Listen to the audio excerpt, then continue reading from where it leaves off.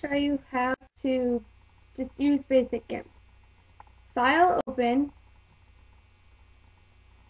and you select any picture you want. So I'll use a Photoshop background that I've gotten before. Let's see. We can use this one. And I'm going to show you how to make color pop from a black and white, the rest, the rest of the picture being black and white. So what we would do would go layer, duplicate layer, and you can go dialogues, layers, just to see that you have one layer and two layers. So if you wanted to edit the layer you were going to finally see, you go back, but that'll be in the next tutorial. So uh, you select the uh, top layer and you go colors, desaturate. And you can go luminosity, lightness, or average. Average I usually use. And you press desaturate. And it turns all black.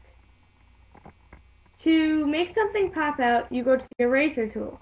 And that one's right here. And you can choose your brush. I'll be creative right now and go with cloud. You can change the size. Didn't work out so well Let's try something else. I'll do something simple. It's my first tutorial. Um, you can just do a circle. And again, it can be however big you want it to be. And see that just basically erases the top layer and shows the other one through, is what's really happening. And there's plenty of other things to do, but that's how you accent colors.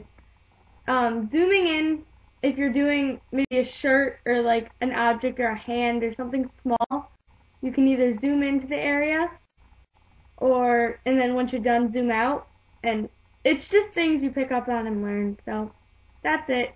Okay. Bye.